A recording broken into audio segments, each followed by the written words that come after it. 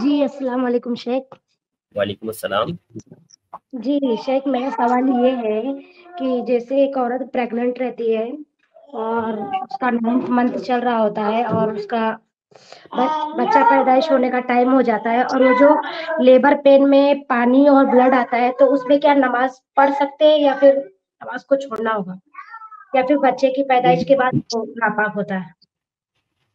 देखिए, बच्चे की पैदाइश के वक़्त जो खून जारी होता है खून जो जारी होता है बच्चे की पैदाइश के वक़्त, ये निफास का खून होता है।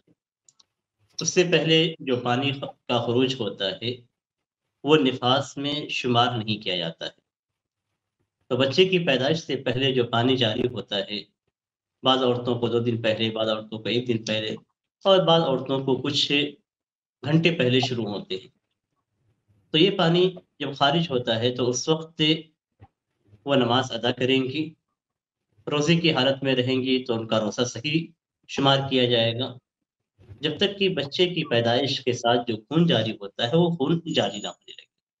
जब खून जारी होगा तो ऐसी सूरत में निफास का खून हो जाएगा। वहाँ से औरत नमाज़ को छोड़ देगी और फिर उसके बाद जब तक निफास की हालत ख़त्म नहीं होती है, वो नमाज़ को अदा नहीं करेगी। जी, सिस्टर रेहान। जी, शेख अगर ब्लड भी आ जाए तो भी नमाज़ कंटिन्यू रखना है? इस अगर ब्लड आता है अगर ब्लड आता है और ये पैदाइश का ब्लड है, तो फिर ऐसी सूरत में कंटिन्यू नहीं करेगी। और अगर सिर्फ़ ब्लड आता है जो पैदाइश का नहीं होता, दोनों में फ़र्क होता है। तो अगर आम ब्लड आता है, जैसे प्रेशर की वजह से या किसी रग के फटने की वजह से, तो उससे कोई फ़र्क नहीं पड़ता है, नमाज़ अदा करेगी।